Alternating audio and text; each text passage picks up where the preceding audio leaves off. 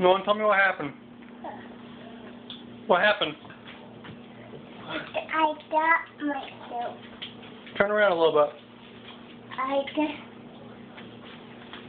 Uh huh.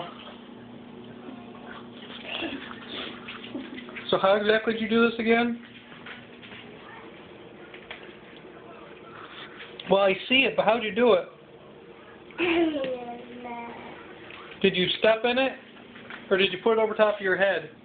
I love my head. You got it over top of your head? Oh, look, buddy, it's like a little chair. You can sit on it. Huh? Hmm, you're doing good. I think you're taking care of this all on your own. Good job. You self-extricated yourself.